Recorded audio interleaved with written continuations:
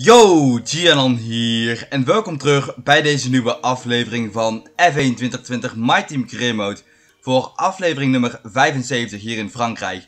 Heb jij de vorige aflevering gemist, zou ik die eerst even terugkijken voordat je deze dus gaat zien. Dat kan recht voor het i'tje, klik erop en zie je die aflevering verschijnen.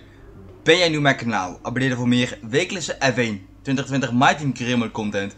Schakel ook een lekker belletje aan, zeg een enkele aflevering van mij mist.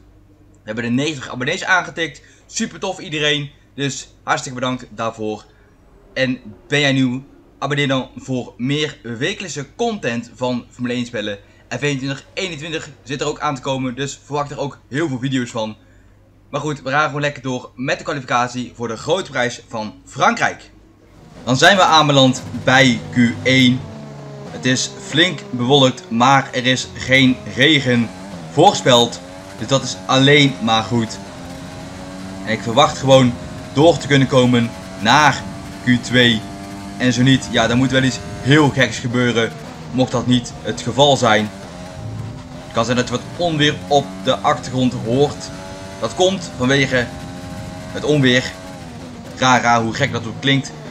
Er is dus onweer bij mij thuis. Dus ja, het kan zijn dat je dus wat gerommel hoort op de achtergrond. En misschien ook een paar regendruppels. Maar ja, dat kan Audacity helaas, denk ik, niet wegfilteren. Zowel, dan hoor je geen donder en geen regen. Ik hoor het in ieder geval wel. En we zetten een P5 neer op 2 tiende van Gasly. Dat is niet goed. Dat is inmiddels een P6. Dat is trouwens wel goed om door te kunnen komen naar Q2. Had ik niet verwacht. Maar het is gelukt. En we gaan dus door op die medium banden in Q2 gaan kijken of we een andere strategie kunnen doen dan de rest van het veld. Maar als het zo eindigt, dan wordt het extreem moeilijk om door te kunnen komen naar de laatste kwalificatiedeel. Het is inmiddels een P8. Norris doet hetzelfde, gaat op die mediumband proberen. Dus wij volgen dezelfde strategie als mijn teamgenoot. Norris naar P10. 1.28.7 op het randje door naar Q3. Kunnen wij daar verandering inbrengen. Zitten we er wel een klein beetje te wijd. Krijgen een track limits waarschuwing. En het wordt een P6. Op 79.000 van Alexander Albon. Dat is goed om te zien. Maar, nu staan wij op P10. En dus moeten wij een setje soft gaan uh, ja, vernachelen. Want eigenlijk had ik dat niet gewild. Kijken of we uh, nu dit keer veiliger zijn naar Q3 toe. Pak al gelijk een tiende winst, twee tiende, drie tiende winst in bocht nummer 1. Dat is goed om te zien. Het regent als een gek hier, dus uh, het, het, is even lastig om uh, ja, het geluid goed te horen van de auto. Paars in sector 1, paars in sector 2. We staan nog steeds op P10. En we zijn 1,5 seconden sneller dan onze beste tijd. En dat wordt een P1 met een 1.26.5. Dat is goed om te zien. We zijn namelijk bij het laatste deel van de kwalificatie. Q3 is dus begonnen. En wij gaan dus kijken of wij misschien naar de pole position toe kunnen rijden. En zo niet, dan wordt het denk ik een P2 of P3. Omdat Lando Norris daar gewoon nog tussen kan komen. Waar rijdt Lando? Die is bij sector 3 snijden daar per ongeluk die bocht af, krijgen een corner cutting waarschuwing.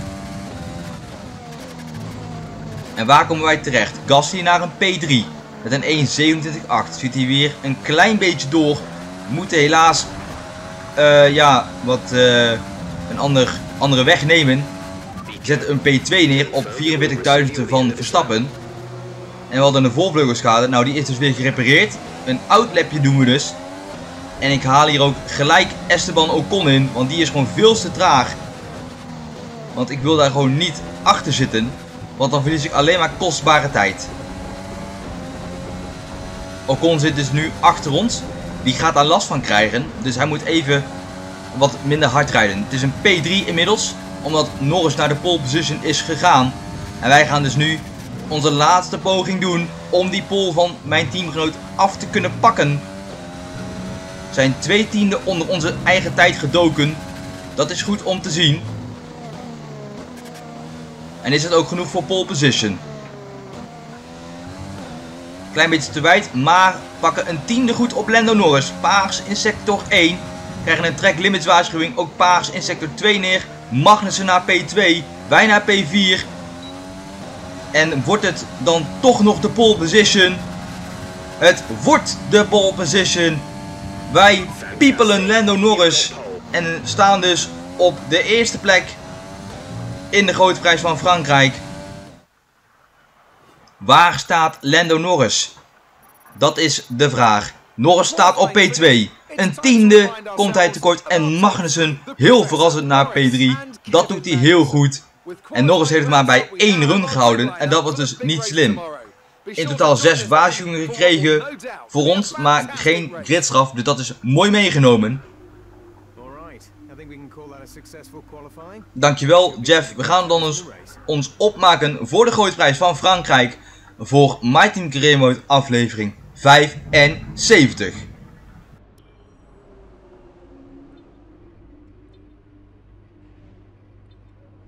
Along then to France, host of the world famous Tour de France. But we're not talking two wheels today, we're talking four, in a country widely thought of as giving birth to the art of motor racing back in the late 1800s.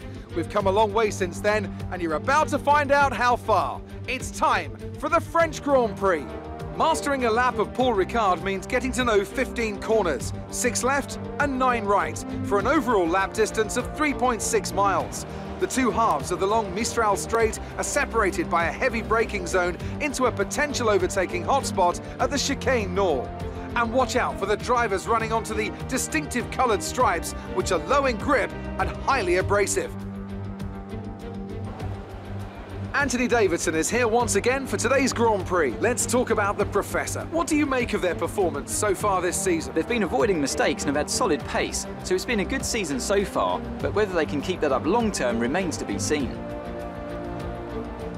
It's time to see how our drivers are stacking up after yesterday's exciting qualifying session. The Professor lines up on pole position, edging out Lando Norris, who'll start from P2. Moving on to the rest of the grid, we have Magnussen, Verstappen, Charles Leclerc and Russell, Kvyat, Ocon, Gasly and Carlos Sainz, Albon, Vettel, Lewis Hamilton and Perez, Delatraz, Stroll, Nicholas Latifi and Nobuharu Matsushita, De Vries, Giovinazzi, Grosjean and Callum Islands. Which of these Got some challenges... points on the board. Let's continue this form and aim for another top 10 finish. Het doel is dus opnieuw een top 10 finish te behalen in deze wedstrijd. Wij starten dus in ieder geval van pole position, een twee-stop strategie soft, medium, medium. We nemen extra fuel mee om hard te kunnen pushen. En dan gaan we gewoon beginnen voor carrière aflevering 75 hier in Frankrijk. De lampen gaan dus aan voor de grote prijs van Frankrijk van F1 2020 My Team Career Mode. De lampen zijn uit en we zijn onderweg. En we komen goed van onze plek. Magnussen is beter weg dan Lando Norris. Zit er al gelijk aan zijn binnenkant. Maar Norris houdt die plek. Nee, Magnussen is naar P2. Dat is een beetje een stuivertje wisselen tussen die twee. En Norris heeft toch die plek mooi eh, ja, weten te heroveren van Kevin Magnussen. Maar die Alfa Tauri heel goed weg. We leiden dus gewoon de grote prijs. Zet de paars in sector 1 neer. Maar ik heb het wat lastig op de exit. En Norris ziet dat. En gaat er denk ik voorbij via de buitenkant. Zit ernaast. Dan is het een race. En wie remt er het laatst? Norris remt het laatst. En wij kunnen nergens naartoe. Want we rijden iets te ver. En raken Kevin Magnussen. We hebben Magnussen per ongeluk geraakt. En hij valt ver terug. Norris heeft de leiding dus veroverd. En heeft dan een gat van 15e naar ons. Is inmiddels ronde nummer 2. En het gat van 15e is naar 19e gegaan. Dus dat gat wordt alleen maar groter en groter. Het schiet er gewoon hartstikke veel door. En daardoor verliezen wij alleen maar nog meer terrein aan Lando. Het gat is bijna een seconde. We hebben in ieder geval 1,3 seconden naar Max Verstappen toe. Dat is een buffer die wij hebben. Dus dat is goed. Groen in sector 1 en 2. Maar ik denk dat Lando Norris zo meteen met de snelste raceronde op zijn naam komt. We zitten in ronde nummer 3 van de wedstrijd. En Norris is gewoon volledig weggereden. We moeten gewoon gaan verdedigen. Vanwege Max Verstappen die naar de buitenkant kijkt. Maar wij laten daar geen ruimte over. ICE heeft wat problemen, zegt Jeff. We kunnen wat power verliezen. En dat gaat naar Norris is inmiddels 2,8 seconden. Dat is gewoon joekel groot geworden in een paar ronden tijd. Dus dat belooft niet zoveel goed voor deze grote prijs. Want ik denk dat Lando Norris hem gaat domineren. Verstappen zit achter ons te kijken. Dat gat is 2 tiende. De druk heeft hij er volop staan op ons. En wij moeten geen fouten maken. Maak hier ook geen fout. Dat is alleen maar goed om te zien. Klein beetje op die die, op die curbstone. Niet op die curse, maar op de curbstone dus. En we houden de auto enorm breed. Verstappen kijkt naar die buitenkant, maar dat lukt niet, want wij laten hem daar uitrollen. En Charles Leclerc zit gewoon te kijken bij Max. En is naar P3. Leclerc naar P3. En de pitwindow gaan wij bereiken. Er is ook een nieuwe strategie beschikbaar om in ronde nummer 8 een tweestopper te doen. Leclerc kijkt naar de buitenkant. Zit daarnaast, is er voorbij, maar we remmen extreem laat. Laten hem mooi uitrollen en raken Charles Leclerc. Verstappen kan daar terugkomen. Het is daar geel in sector 1. Er valt daar iemand uit volgens mij. Dat is, denk ik, Romain Grosjean. Nee, dat is Daniel Ricciardo in zijn Renault. Louis de Letras, mijn fout. De Letras valt uit, want Ricciardo is al lang met pensioen. We hebben onze overtakenknop dus gebruikt en rijden wat weg van onze landgenoot Max Verstappen. Lando Norris heeft gewoon een voorsprong van 5,1 seconden. Dat gat wordt alleen maar groter en groter. En wij moeten extreem hard gaan verdedigen om die Mercedes af te houden van Max. Lukt dat? Dat lukt, want we duwen hem naast de baan. En Kwiat is naar P3. Heeft die positie veroverd van Max Verstappen. En hij zit dus nu achter ons. En we gaan zo meteen ronde nummer 5 alweer in. Norris is daar al bijna bij start-finish. De auto moeten wij gewoon heel breed houden om een 1-2'tje te verzekeren. De motor ziet er wat schadelijk uit. Power output will be down. Oftewel, we krijgen minder vermogen. Dat komt vanwege de motor. We zitten in ronde nummer 7 van de wedstrijd. Als Lando Norris naar binnen gaat voor zijn eerste pitstop. Norris dus naar binnen.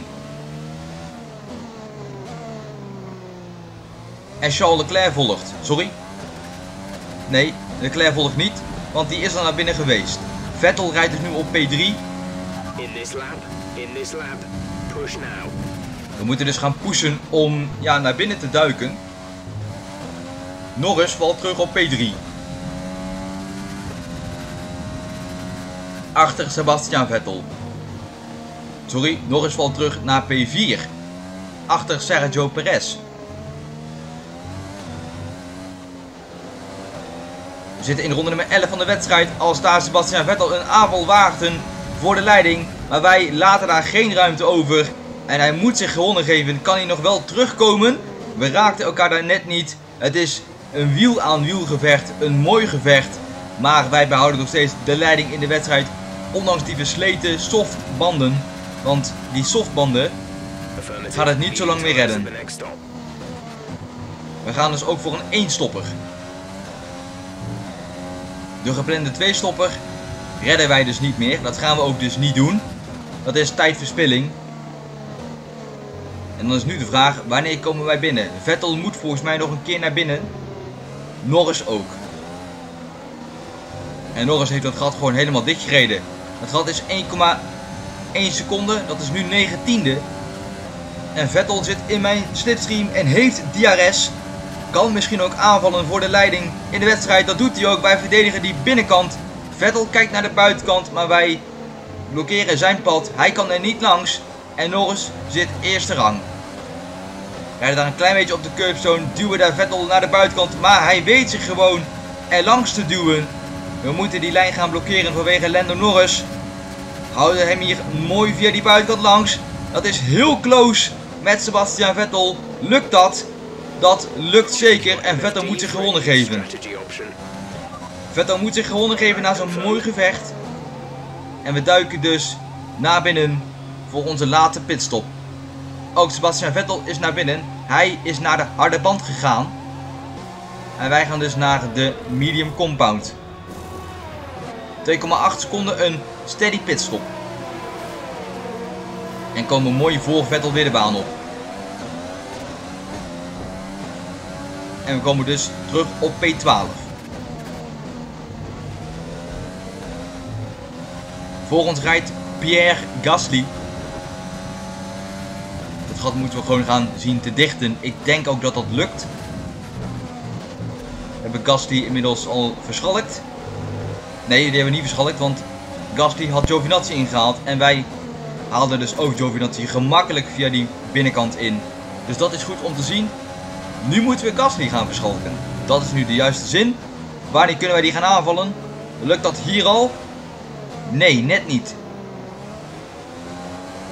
We er ook een klein beetje door. En krijgen een track limits waarschuwing. Ocon en de rest allemaal naar binnen voor de medium compound.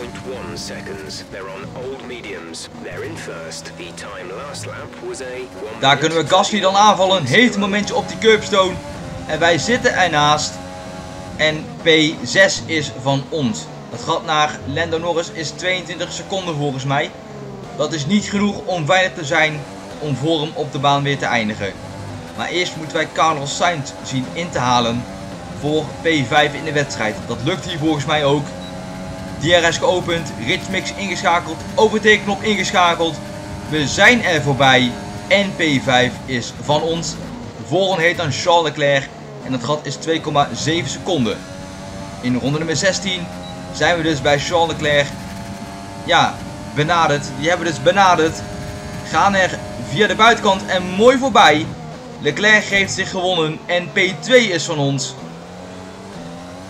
Omdat Verstappen naar binnen is geweest. Dat gat naar Lando Norris is 18,7 seconden. Is dat goed genoeg om voor hem te kunnen eindigen? Jazeker, maar dan ook maar net. Want dat gat is nu 19e. Omdat Lando Norris naar binnen is geweest voor zijn laatste pitstop. Wij gaan dus niet meer naar binnen. We doen het op een eenstopper en Lando Norris heeft versere banden. Kan ook eerder een aanval wagen. En wij moeten dus opletten op onze motor en op onze banden. Er zijn nog 8 rondes te gaan in de wedstrijd. Dus het schiet alweer lekker op.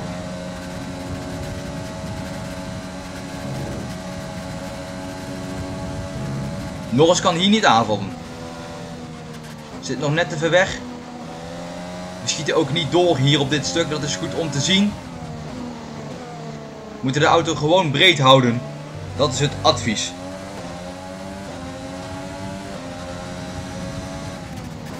Norris, kan hij hier dan aanvallen? Nee. Maar we verremmen ons. En Norris zit ernaast. Maar we hebben onze overtekenknop aan. En we knijpen Norris af. Norris dus afgeknepen en hij kan er niet voorbij. Hij raakt ons. Ja, we raken elkaar. Maar heeft nog een schade. Nee, Lando Norris heeft geen schade. Dus we kunnen beide door. We remmen ons een klein beetje bij die bocht. Maar dat is geen probleem. Rood in sector 1, 1,9 seconden, sorry, 1,5 seconden langzamer. Maar Norris heeft nu wel een probleem. Het gaat dus een seconde. En Norris duikt naar binnen. Lando Norris duikt naar binnen voor zijn laatste pitstop. Is dat dan een nieuwe neus? Heel vaag, want hij had geen schade. Want ik kon het niet zien. Maar het kan zijn dat hij iets voelt bij de auto. En dat hij dus naar binnen moet. En daar gaat dan dus een 1-2'tje. Jammer, maar helaas. Daar kunnen wij niks aan doen. Dat voelt alleen maar Lando Norris zelf aan zijn auto. En dat betekent geen dubbele podiumfinish voor ons. Met nog 6 rondes te gaan in de wedstrijd. Dat gat naar Sebastian Vettel is 10,7 seconden. Einde ronde nummer 21, begin ronde nummer 22. En de pitwindow is open voor een setje softbanden. Maar dat gaan wij niet doen, want dan komen we achter Sebastian Vettel terecht. En achter Lewis Hamilton komen we in het verkeer terecht. En dat is gewoon niet de bedoeling. Dus we gaan de wedstrijd hier ook mee uitrijden op deze medium banden. En dan gaan we kijken wat Oostenrijk ons brengt, want dat is de volgende aflevering. Laps laps. De pit window is open, nog drie rondes te gaan en er valt er weer eentje uit. Er is weer een uitvaller, dat is een Haas. Is dat van Romain Grosjean? Of is dat van Callum Islet? Dat is de vraag. Callum Islet. Callum Islet uitgevallen in de grote prijs van Frankrijk. Samen met Louis Deletras de enige twee uitvallers in de wedstrijd. Dat vind ik knap. Het is daar dus geel vanwege een Callum die daar aan de linkerkant staat. En er zijn nog twee rondes te gaan in de wedstrijd. Callum zijn auto is al gelijk weer weggehaald. Dat is snel gebeurd en zo hoort het ook. We zitten tegen het einde van de ene laatste ronde aan. Begin van de laatste ronde. Ronde nummer 27 loopt nu nog. Dit is de laatste ronde van de wedstrijd. En dan gaan wij er weer eentje bij schrijven. Jammer van George Russell. Sorry. Jammer van Lando Norris. Ik zit nog met mijn oude teamgenoot in mijn kop. Jammer van Lando Norris die dus naar binnen moest. Geen idee waarom.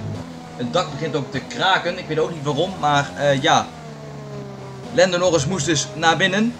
Dat vond ik ontzettend gek. Want hij had geen probleem aan de auto. Ik zag niks bij zijn volvleugel. Alles leek nog gewoon ja, intact. En toch moest hij naar binnen. Heel gek.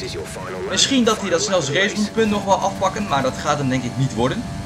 En ik denk dat Lando Norris buiten de punten finisht.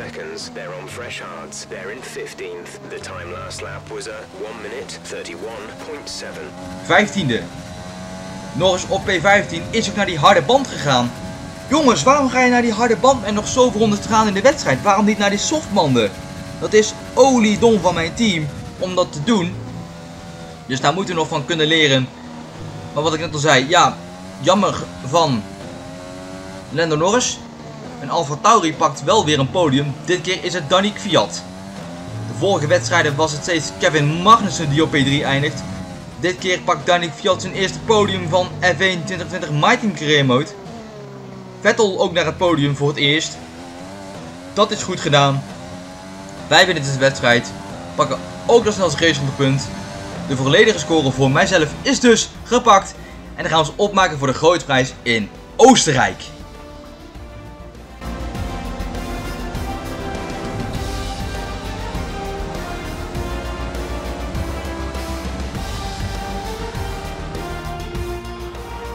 There's a few disappointed faces up and down the pit wall after that one, but not here. They secured a phenomenal victory.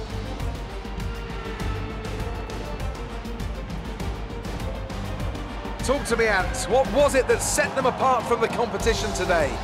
Well, I honestly feel it was down to the driver and car today. I mean, we can talk driver skill all day, but if you don't have a solid team to back that, you're never going to get anywhere. When you hit that sweet spot of having both an excellent driver and an incredible car, that's when you see results like those we witnessed today. A show-stopping performance from the three drivers approaching the podium right now. It's been an interesting Grand Prix, that's for sure.